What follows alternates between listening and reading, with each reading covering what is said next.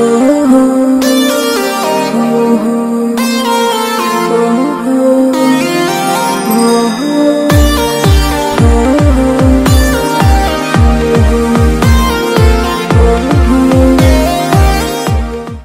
வெளியான காக்கா முட்டை திரைப்படம். இந்த திரைப்படம் வெளியாகிறதுக்கு முன்னாடியே தேசிய விருதுகளை வாங்குச்சு. ஆனா இந்த திரைப்படத்துல வக்கீல்களை பத்தியும் வக்கீல் தொழிலை பத்தியும் அவதூறான வார்த்தைகள் காட்சிகளை வந்து இடம்பெற வச்சிருக்காங்க அப்படிங்கறதுக்காக இந்த திரைப்படத்துடைய தயாரிப்பாளர்கள் நடிகர் தனுஷ் அதுக்கப்புறம் இயக்குனர் வெற்றிமாறன் இவங்க கூட சேர்ந்து அந்த காட்சியில நடிச்ச நடிகை ஐஸ்வர்யா இவங்க எல்லார் மேலையும் கிரிமினல் வழக்கு போடணும் அப்படின்னு ஒரு மனு ஒண்ணு கொடுத்திருக்காரு.